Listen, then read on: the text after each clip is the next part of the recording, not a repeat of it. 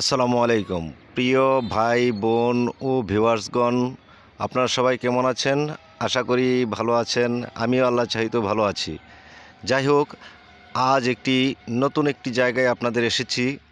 স্থানটি অত্যন্ত চমৎকার। আসলে আমি এই মুহূর্তে যেখানে দাঁড়িয়ে আছি, আমার কাছে মনে হয়েছে ইউরোপ, আমেরিকার কোনো একটি সৌন্দর্য গ্রামে দাঁড়িয়ে আছি।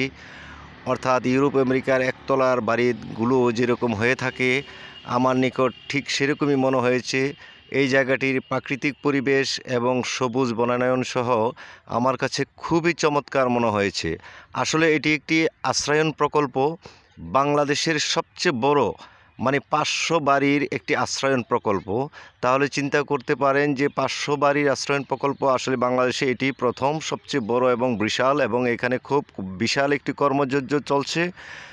এখানে আসলে কাজ এখনও সমাপ্তি হয়নি কাজ চলছে।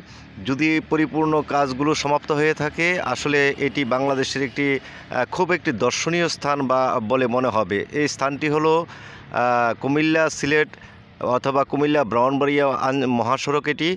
মহাসড়কের একেবার একেবারেই পাশে স্থানটি হলো মনকাসার খারেড়া উপজেলা হলো কসবা, আর জেলা হলো ব্রাহ্মণবাড়িয়া। স্থানটি অত্যন্ত একটি চমৎকার একটি জায়গা। একটি সময় এই জায়গাটি একটি পর্যটন কেন্দ্র বা আমার কাছে মনে হয়েছে যে স্থানটিতে অনেক মানুষ ঘুরতে আসবেন। এত বড় একটি বিশাল প্রজেক্ট এবং সুন্দর একটি এলাকা এটি। সেই জন্য প্রিয় ভাই বোন আপনাদেরকে রিকোয়েস্ট করব যে পুরো ভিডিওটি একটু দেখুন, পরিবেশটি ভালো লাগবে। এবং পুরো কাজ প্রক্রিয়া যদি শেষ হয়, তাহলে বাংলাদেশের আসলে একটি বৃহৎ একটি অংশে বা অনেক লোক এখানে আশ্রয় পাবে। গরিব শ্রেণির মানুষ এই ঘরগুলো পেয়ে থাকেন, সরকারিভাবে পেয়ে থাকেন। আসলে স্থানটি আমার নিকট খুবই চমৎকার মনে- হয়েছে।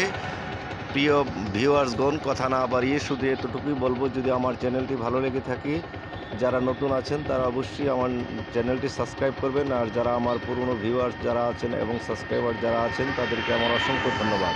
তাহলে কথা না বাড়িয়ে বন্ধুরা, পুরো ভিডিওটি দেখতে থাকুন। খুব ভালো লাগবে। শেষ পর্যন্ত দেখুন। সবাইকে আবার ও আমার আন্তরিক শুভেচ্ছা, অভিনন্দন জানিয়ে এই মুহূর্তে শেষ করছি।